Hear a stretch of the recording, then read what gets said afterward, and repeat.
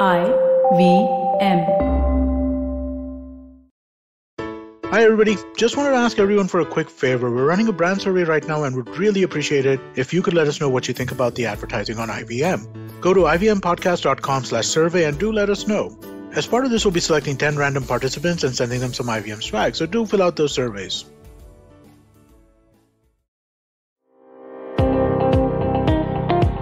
Welcome to All Things Policy, a daily podcast supported by Pragati, a flagship media initiative of the Takshashila Institution. We are a bunch of policy nerds based in Bengaluru, and we like to bring fresh perspectives to Indian affairs and an Indian perspective to global affairs.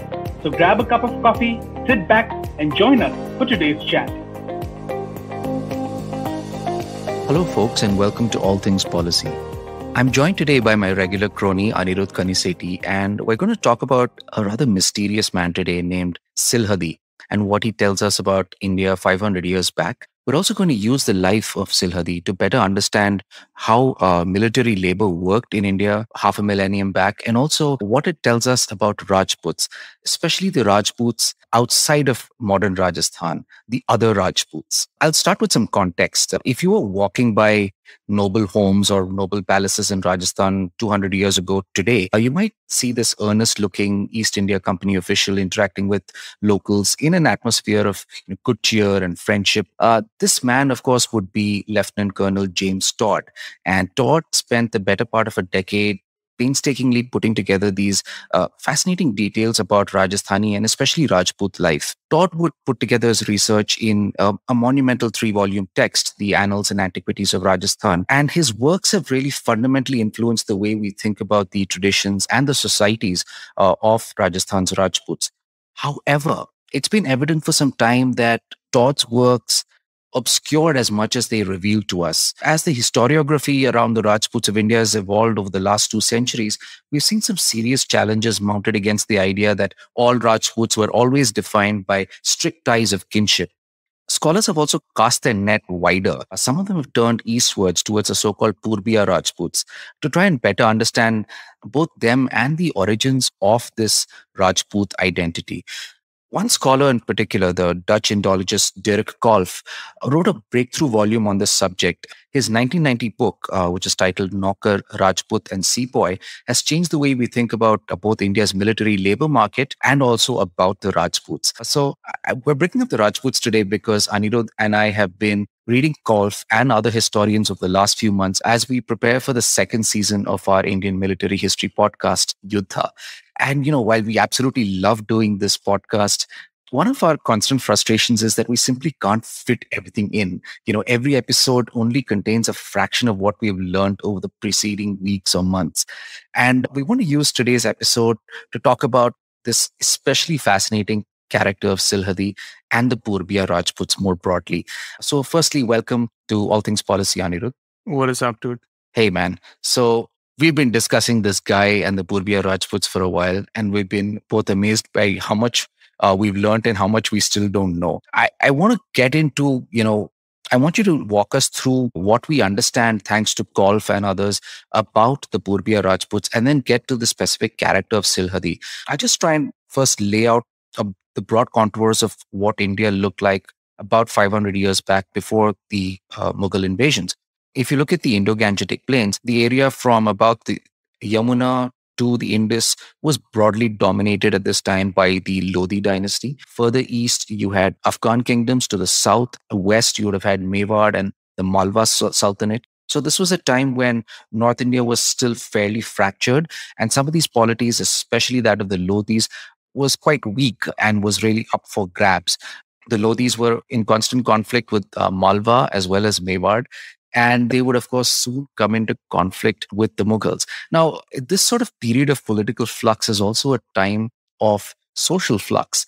And you see the rise of these itinerant uh, warrior ascetics, if you will, people who leave their homes with very few belongings and wander out uh, in search of Naukri or Seva in the service of some distant lord and may return to their homes, you know, if these people are lucky, they return to their homes at the very beginning of the monsoon season.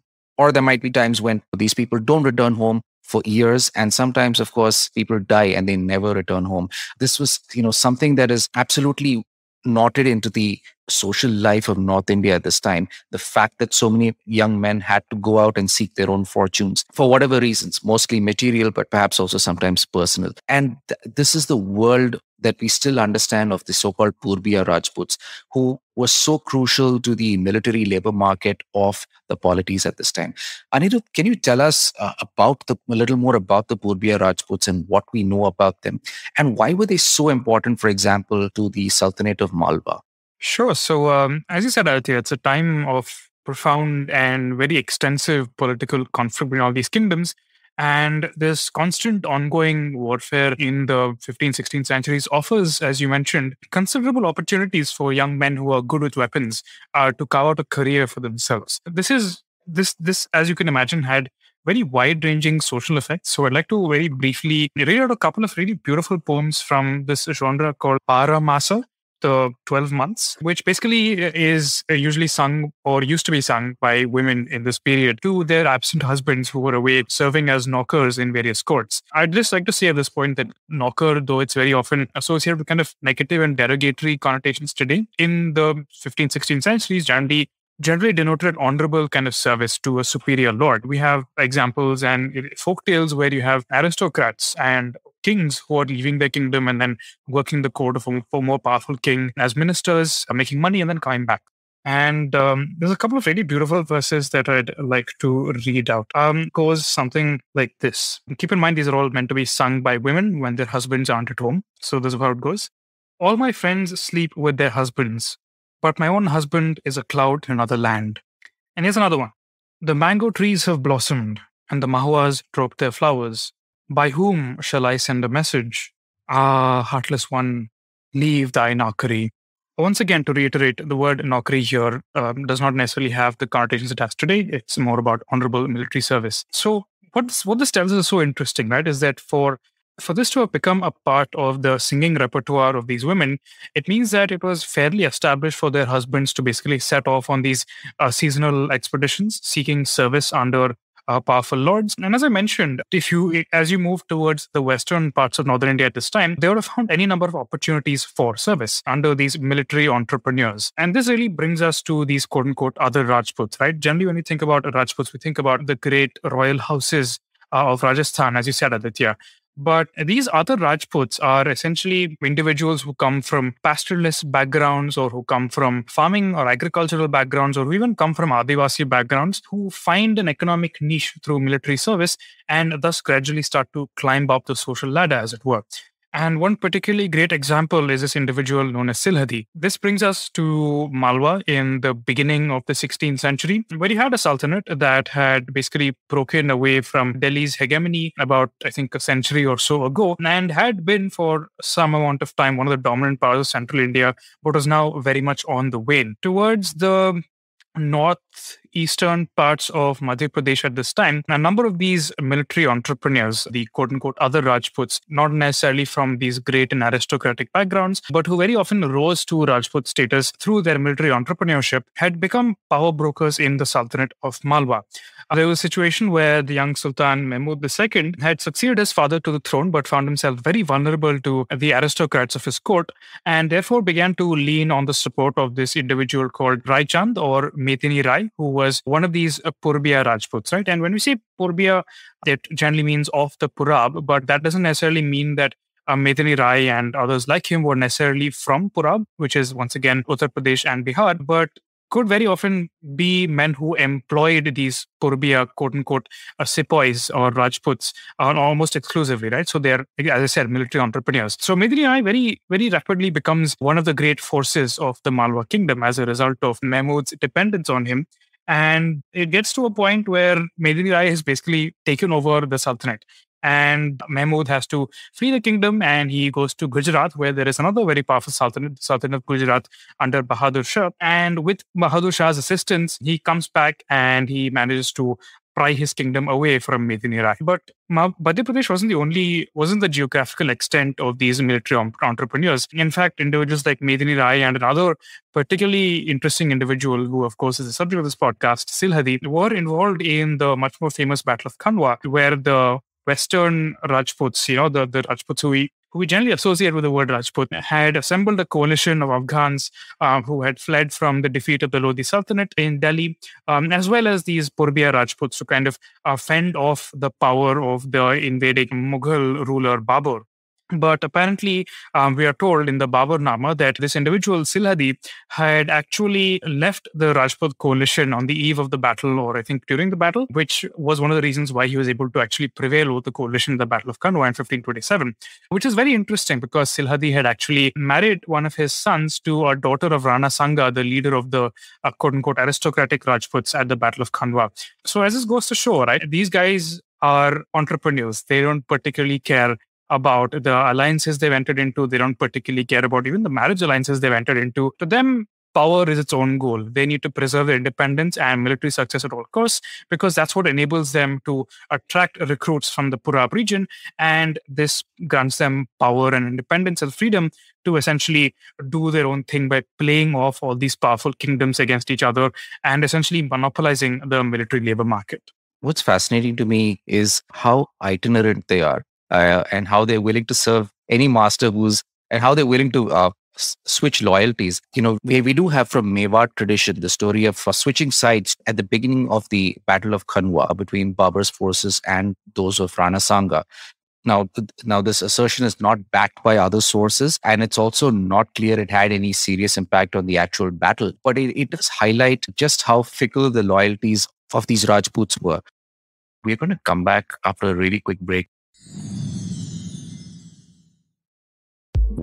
Intel vPro provides the complete manageability tools to detect, repair, and protect your devices remotely, so your workforce can keep doing what they do best, wherever they're working from. Today, as most employees and IT teams no longer work under the same roof, fixing glitchy PCs and proactively managing the PC fleet has become increasingly difficult. The Intel vPro platform addresses these problems with its Intel Active Management technology, Intel AMT. vPro enables IT to keep mission critical resources running by establishing a secure connection between IT and an Intel vPro platform based PC. In the event of a cyber attack, Intel AMT lets IT remotely manage and repair systems simultaneously, even if they are dispersed across multiple locations.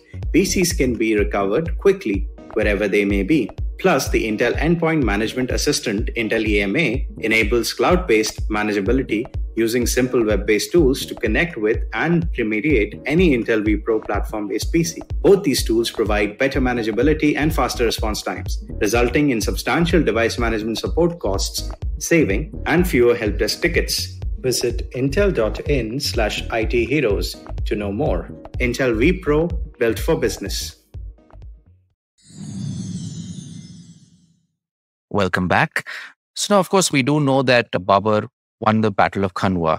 But what is uh, really interesting is what happened A to the Purbiya Rajputs after this, and or B what happened to Silhadi himself, or what was his career like? It's absolutely fascinating because in a sense, Silhadi is like th- this representative of a dying tradition, you know, of this of this political structure that seems to exist beyond the ambit of a state, where the power of a warlord is not necessarily uh, deriving from a, a, financial capability that's based on agrarian state, but rather on his prestige and his ability to attract gifts from people who want to uh, retain his services, and his ability in turn to distribute those gifts to uh, Jawans, warriors, Rajputs uh, who are coming in from the Purab region. Because as you can imagine, right, this is the 16th century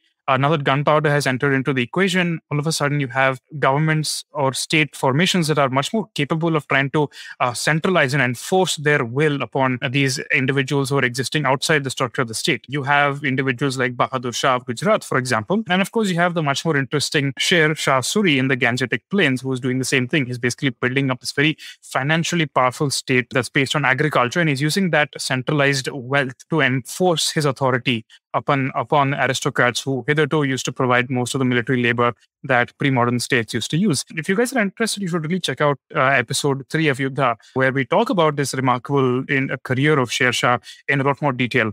But let's come back to Silhadi. Um, so around 1530 or so, which was three years after the Battle of Khanwa, we're in a situation where Medini Rai, who was up to this point one of the most important Purbiya Rajputs in Madhya Pradesh, had been wiped out by Babur, who had used his artillery to break down his fort. And Silhadi is already starting to feel the pressure, okay, because um, Mahmud II of Malwa is, is trying to get this guy out of the way as soon as he possibly can. And he, as you can imagine, starts to look around for potential supporters, which is how he ends up in uh, the camp of Bahadur Shah of Gujarat. Bahadur Shah is a really interesting chap, um, and I wish that we had more time to talk about him, and I hope that we will at some point on Things Policy. Uh, but he, again, like I said, just like Sher Shah, is very interested in kind of creating this kind of centralized state, and he has a very uneasy kind of relationship with Silhadi. On the one hand, he sees Silhadi as potentially a way to add uh, Madhya Pradesh to his dominion. On the other hand, he's not exactly sure how to deal with this this guy who's fiercely independent, who is who who bears a uncomfortable relationship with his Muslim aristocracy and especially with the clerics of his kingdom we have to keep in mind that for sultanates in North India in the 16th century, one major source of their legitimacy was their ability to at least claim that they were following the tenets of you know, the Muslim clerics. It was very, it was a very important source of legitimacy for them uh, to be independent rulers who were able to guarantee dignity for Muslims and purity of Muslim practice and so on. So, as you can imagine, an alliance with Silhadi, while it makes a lot of geopolitical sense, it's a lot more complicated for from another perspective because um, Silhadi, being this fiercely independent chap who derives so much prestige, and especially from his material possessions and especially from the women of his court, has a very large number of Muslim women in his harem. And this is something that Bahadur Shah's ulema are not at all pleased with. If Bahadur Shah were to accept this, the presence of Muslim women in, Shilha, uh, in Silhadi's court, that means that he is de facto granting him the status of a Muslim Amir, which he definitely is not. On the other hand, if he is to if he is to go against Silhadi himself, then he potentially ends up jeopardizing uh, the possessions that he could potentially gain in Madhya Pradesh, which leads to a whole lot of back and forth. I won't I won't get into all the details, uh, but there's a whole bunch of very interesting incidents, and you can once again see uh, these dynamics of gift giving and all that at play when um, Silhadi first meets uh, Bahadur Shah, for example, he gets some absolutely redonkulous gifts. Let me just let me just quote from Dirk Kolff. The exchanges between Bahadur Shah and Silhadi began with the former producing 700 robes woven entirely of gold thread and 70 horses. Um, Silhadi felt encouraged by this and, accompanied by the Rana, he met Bahadur Shah on the Mewar, Mewar Gujarat border. The Sultan, on the first day, assigned to them 30 elephants and 1,500 robes of honor made of stuff of woven gold thread the new alliance was soon a fact. So essentially, what you can see here is that initially things are smooth enough because the Sultan, as a ruler of a centralized or centralizing state, is able to establish himself as a powerful gift giver and is therefore able to attract Silhadi's services. But soon after that, these issues related to women and legitimacy come to the fore, which creates all kinds of problems. And um, Basically, long story short, what happens is that Silhadi is once again invited to stay in the camp of Bahadur Shah. Uh, Bahadur Shah basically prevents him from leaving and offers him a position. He offers him a position within the Sultanate of Gujarat, basically giving him the Jagir or basically giving him the fiefdom of Baroda um, as a recompense for his services. Now, Silhadi is a little uncomfortable about all this, but he but he doesn't he can't really do much because he's essentially Bahadur Shah's uh, you know compulsory guest. His brother Lakshman, who is controlling his uh, home base, the fort of Raisen, is besieged by Bahadur Shah, so he doesn't really have a lot of options. So what he does is that he converts to Islam, which once again is very interesting, right? Because it shows you that for these military entrepreneurs, there was nothing they really held secret beyond their own independence and their own power. Um, and from this point, he is known in Muslim sources very often as Salahuddin. Uh, in fact, that is the term that Babur used to refer to him. And um, what happens now is that now that he is technically Muslim, now that he can really be a part of the Gujarat Sultanate state structure, Silhadi wants to go back to his ancestral fort. And so Bahadur Shah takes him there.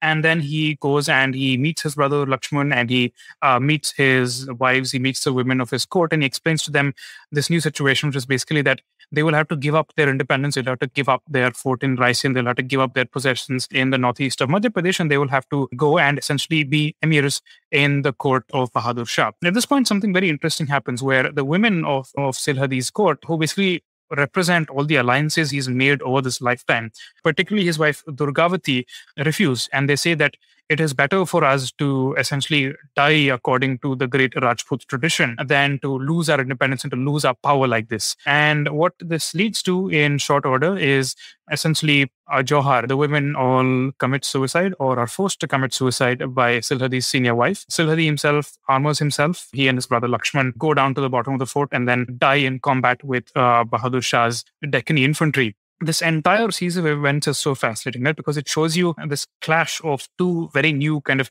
socio-cultural, political, economic systems. And it's you, you really got to sympathize with Silhadi. He's a guy who belongs to another time who had extraordinary success in this time, but all of a sudden finds that the world is no longer prepared for him and is and he goes out the only way that he knows, which is to go out fighting. What an absolutely extraordinary story. I'm really struck by the back and forth that happens between the Sultan Bahadur Shah and Silhadi and how the eventual death of Silhadi is actually not an outcome that that the Sultan actually desired in the first place. Uh, incidentally, that Johar, we're again told from our sources, included not just not, included not just the Hindu women of his harem, but also the Muslim women who the Shah was uh, whom the Sultan was uh, supposedly trying to protect. So that hmm. didn't go very well either. Uh, and yeah, so so it's it's really an interesting series of events, and it's not something that you know you could make up. It's it's it has that sense of messy real life events, you know, that are unpredictable and unexpected in a way that that we can never map out. An even more interesting example actually comes from Silhadi's son, who is, a chap called Puran Mal. And uh, Puran Mal, eh, after his after this uh, Johar and all that, uh, he kind of shows that the Purbiyas are not totally done yet. He's still a major power to be reckoned with um, in Malwa. He controls swathes of territory that once belonged to his father. And he has uh, an easy relationship with Bahadur Shah. His brother Bhupat, for example, who was Shil- Silhadi's heir, had, had initially been in Bahadur Shah's service, interestingly enough, and then actually betrayed Bahadur Shah to serve with Humayun. And the person who convinced him to do this was apparently the artillery officer who had overseen the destruction of his father's fort, who was a Muslim gentleman whose name I, I'm not remembering right now. But again, it's very interesting. It kind of shows you how flexible and how pragmatic political alliances were in this period. Uh, but come back to Puran Mal. So Puran Mal is basically the regent for Bhupat's son, and he is de facto ruler of Swades of Madhya Pradesh. And as you can imagine, now that the Sultanate of Malwa, in all for all intents and purposes, has basically become extinct, the other powerful centralizing sultanates of northern India now want to get Puran Mal on their side. And by this point of time, Bahadur Shah was no longer the great force that he had once been. And instead, uh, a new individual had risen to dominate the military labor market. And this, of course, was Sher Shah Suri. Sher Shah had, had become by far uh, the most important recruiter of Afghans and Pathans in northern India. And uh, through his alliances with the Ujjaini Rajputs, which again is something that we talk about in episode 3 of Yuddha, uh, he had begun to slowly make inroads into the Purbiya labor market as well. But now he wanted to get Puran Mal on his side. So what he does is that he sends initially fairly low ranking functionary um, to fetch Puran Mal to his side. Puran Mal refuses and he demands that a much more important emir, in fact, the right hand man of Sher Shah, chap called Shujat Khan. Um, and Shujat, Khan shows up at Puran Mal's home base and um, Puran Mal's wife actually does, does this very interesting thing where she demands that Shujat Khan, where she tells Shujat Khan that she will not eat until her husband is safely returned to her. And then Shujat, Shujat Khan promises that he will make sure that her husband comes back to her by the end of the day. So she doesn't have to fast for that long, which again, you kind of see how the women of a Purbiya Rajput's household played a very important role in these, in these very nuanced kind of cultural and political exchanges uh, that enabled them to maintain their independence. So what happens is that um, Puran Mal goes with 6,000 uh, young horsemen. Apparently, none of them were over the age of 40, which again suggests that these are all, you know, young Jawans who had come from the Purab region. And he goes and meets Sher Shah. Sher Shah showers him with all these fantastic gifts. And then Puran Mal returns to his court, safe and sound. But soon after that, something goes very, very wrong. We're not sure exactly what happened, but somehow or the other, Sher Shah comes down and uh, he actually besieges Puran Mal's fort. Puran Mal initially resists and then like comes down and there's some new arrangement that is worked out and it seems like things are all sorted. But at this point in time, once again, one of those one of those messy historical things uh, happen, which really neither Sher Shah nor Puran Mal could really have expected, where apparently a bunch of Muslim women stand on the street as Sher Shah is passing by and tell him that has done all kinds of immoral things. He's made uh, their daughters into dancing girls in his harem and all, all that salacious stuff. Um, of course, this is all you know written down by um, historians in the Mughal court later, so you know take that with a pinch of salt. Uh, but basically, at this point, the ulema, the the Muslim clerics in Sher Shah's camp, get you know they they get very ordinary about the whole business, and they issue a judicial ruling saying that Puran Mal must be put to death. At which point, Sher Shah, because he needs to keep the, the clerics on his side, these clerics very often come from the Muslim gentry of the cities of the Gangetic Plains, and they are very important for Sher Shah's uh, recruitment efforts to get uh, on his side. So he's kind of in a knot, and he decides that all that he can do at this point is to finally put Puran Mal to an end. So his fort is besieged. Once again, uh, Jauhar is committed. All the women for the fort are killed, and the careers of Silhadi's branch of the Pur- Purbiya Rajputs finally come to a close. It's all it's all very tragic, of course, and as you can imagine, it's it's of course led to a lot of high pitched rhetoric about how you know quote unquote Muslim rulers could never get along with, you know, quote unquote honorable Rajputs. But as we've really seen, nobody is really very honorable in, in, in, the, in the really messy geopolitical world of North India at this time. But one very interesting example does survive. Apparently, Shujat Khan, the Afghan officer whom Sher, who had promised Puran Mal's wife that he would ensure her husband's safety, uh, was so disgusted with uh, what happened that he left Sher Shah's service, which again is very interesting. And it shows you that things are really not as black and white as you would think. And of course, we do know that it was not totally impossible for uh, a centralizing Muslim sultanate in India to get the Rajputs on their side. We actually see just a couple of decades after the, the death of Puran Mal, with the ascension of the Mughal ruler Akbar, that it does indeed become possible because he is able to find a way to establish marriage alliances with the Rajput houses. He is able to find a way uh, for him to guarantee this kind of prestige and gift giving and all the other things that Rajput houses demanded. And most importantly, because of the emphasis on genealogy, which is not something that the Purbiya Rajputs necessarily cared about that much because they tend to be from non aristocratic backgrounds, because of the emphasis on genealogy uh, and the alliances that are made with the aristocratic Rajput houses of Western Rajasthan, gradually, gradually, it becomes more and more of a political and then eventually a mythical fact for Rajputs to be thought of only as the individuals and not the Silhadi-esque individuals. So just fascinating. Just fascinating to see this unique kind of cultural moment and how it came to a close in the 16th century. Absolutely, Anirudh. Uh, one of the uh, key goals uh, of Kolff in his book is actually to uh, try and provide some insight into the origins of, of Rajputs themselves.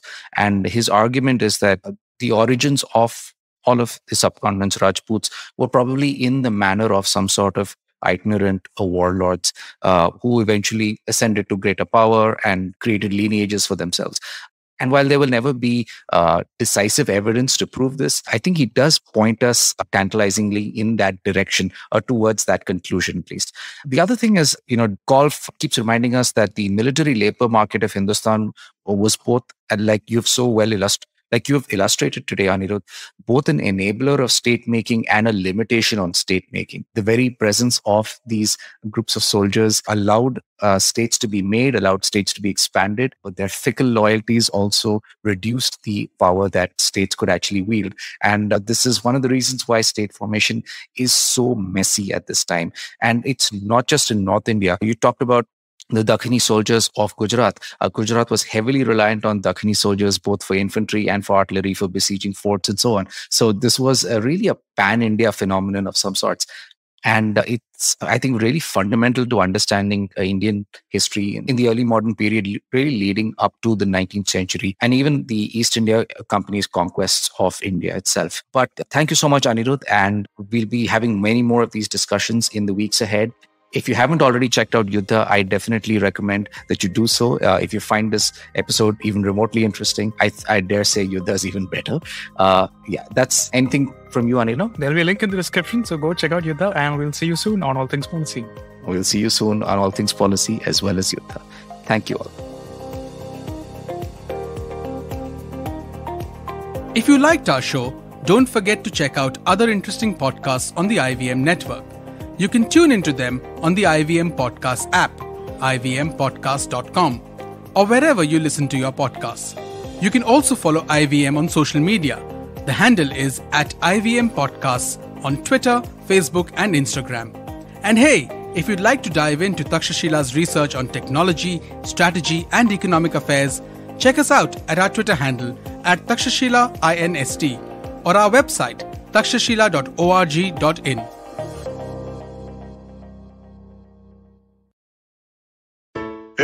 it's been another great week on the IVM Podcast Network. On The Habit Coach, Ashton speaks with Ken Honda, Zen millionaire and best-selling author in Japan. His new book, Happy Money, The Japanese Art of Making Peace with Your Money, teaches us how to improve our relationship with money. On Cyrus Says, founder and CEO of Finway, Rachit Chawla joins Cyrus to share some great financial advice on low risk and no risk deals.